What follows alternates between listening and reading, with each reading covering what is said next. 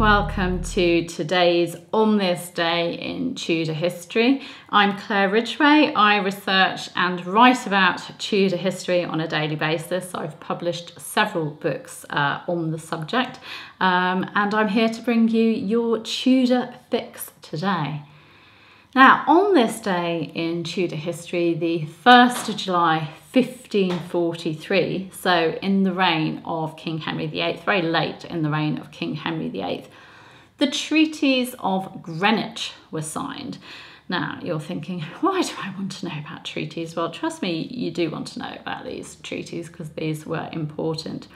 These treaties were peace treaties between the kingdoms of England and Scotland and they were concluded on this day by William, Earl of Glencairn, Sir George Douglas, Sir William Hamilton, Sir James Learmonth, and Mr. Henry Balnaves, who were commissioners of the seven month old Mary, Queen of Scots, by the assent of James Hamilton, 2nd Earl of Arran, who was acting as her regent.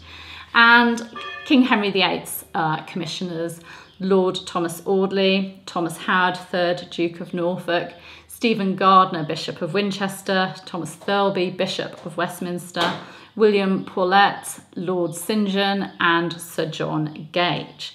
So those were all the commissioners on the sides of Mary Queen of Scots, who was just a baby at the time, and King Henry VIII. And they were all involved in agreeing to these treaties.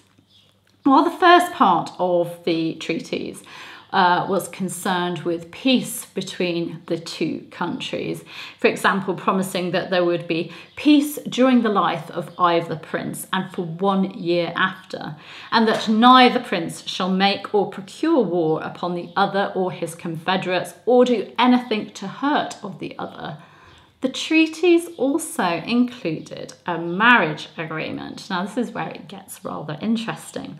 But this marriage agreement was concerning uh, the future King Edward VI, who was called Prince Edward at the time, and Mary, Queen of Scots. Now, you might not have known that Edward VI was ever meant to marry Mary, Queen of Scots, so that's where it gets a little bit interesting. I'm going to share with you the terms for this part of the treaties, the marriage agreement. Uh, number one, that Prince Edward, eldest son and heir apparent of Henry VIII, now in his sixth year, shall marry Mary, Queen of Scotland, now in her first year. Two, Upon the consummation of the marriage, if the king is still alive, he shall assign to the said Mary as dower lands in England to the annual value of £2,000, to be increased upon his death to £4,000. So there they're talking about uh, King Henry VIII still being alive, and that uh, if he's still alive when Edward marries Mary, then that shall be the financial agreement. Number three, until by force of this treaty the said Mary is brought into England, she shall remain in custody of the barons appointed thereto by the three estates of Scotland. And yet, for her better education and care, the king may send at his expense an English nobleman or gentleman with his wife or other lady or ladies and their attendants, not exceeding twenty in all, to reside with her. So they don't want Mary being sent to England, but they're quite happy for King Henry VIII to uh, send uh, you know, her a tutor and you know a household uh, to help with her uh, her bringing up and her education.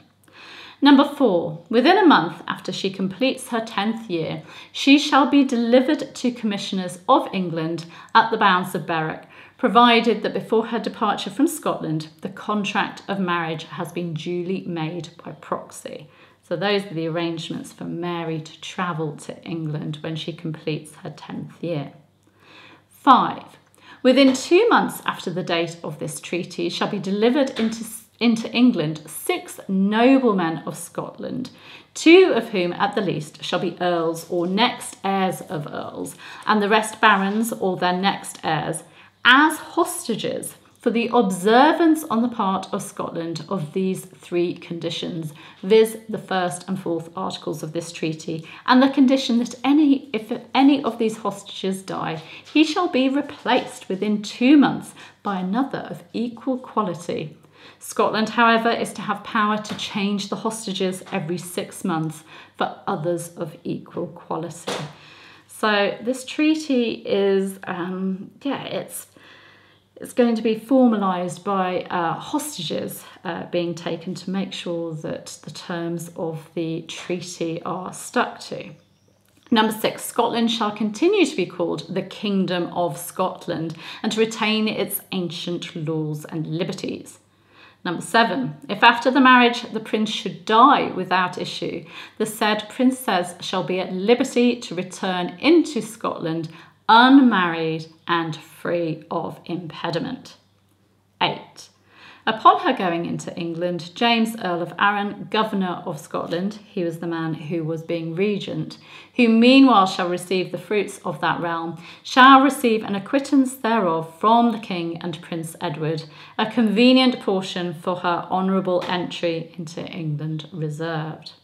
9. This treaty to be ratified within two months although the treaties were ratified within two months, being ratified by the Earl of Arran on the 25th of August 1543, in December 1543, the Scottish Parliament actually went on to reject the treaties.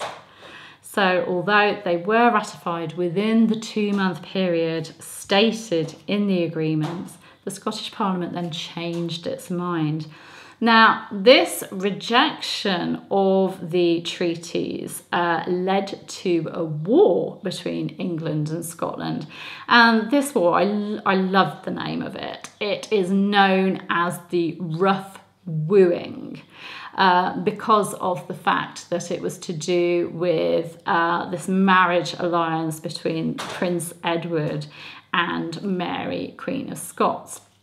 The war began in December 1543 and it actually went on into Edward VI's reign with Edward Seymour, Duke of Somerset and Lord Protector, continuing King Henry VIII's policy of a forcible alliance with the Scots the war of Rough Wooing had two main aims. One, to force the marriage of Edward and Mary, to make Scotland, uh, you know, go back to the treaties, to actually stand by what was agreed in Henry VIII's reign. And two, to weaken Scotland, Scotland being the traditional ally of France. Now, the main events of the rough wooing, as it was called, this war between England and Scotland, the main events were the burning of Edinburgh in May 1544 by the English fleet, the Battle of Ancrum Moor in February 1545, where the English forces were defeated by the Scots. Um, I actually have done a talk on that, so I'll give you a link to my talk on the Battle of Ancrum Moor. The Battle of Pinkie Cleugh in September 1547, where the Scots were defeated by the English, and that battle is regarded as the last pitched battle between England and Scotland. The siege of Haddington by the English, which started on the 23rd of August 1548, but the English forces eventually uh, had to withdraw in September 1549. Then this war, this rough wooing, was brought to an end finally by the Treaty of Boulogne in March 1550. That, of course, being in King Edward VI's reign still. Of course, Mary, Queen of Scots, and Edward never did marry. Uh, it, that alliance just fell apart. Of course, Mary, Queen of Scots, ended up going to France and marrying uh, the Dauphin of France, who became King uh, Francis II of France. And of course, Edward uh, never did marry. Uh, he died uh, young before uh, he had chance to marry. So I just wanted to share with you the terms of those treaties because I don't think that many people know that uh, Edward and Mary were meant to marry, and not many people either know about the resulting war between England and Scotland that uh, happened because Scotland uh, didn't uh, didn't honour the treaties. So that's what happened on this day in Tudor history, the treaties that led to war. I do hope you enjoy these Tudor events that I bring you. You can subscribe to this channel uh, by clicking roundabout there. You can uh, hit the bell to be notified as new videos go live. You can also give me a like, leave some feedback, your comments as well. It's great to receive feedback and I do appreciate you following me. I'll be back tomorrow with another On This Day in Tudor History event for you. Take care. Bye bye.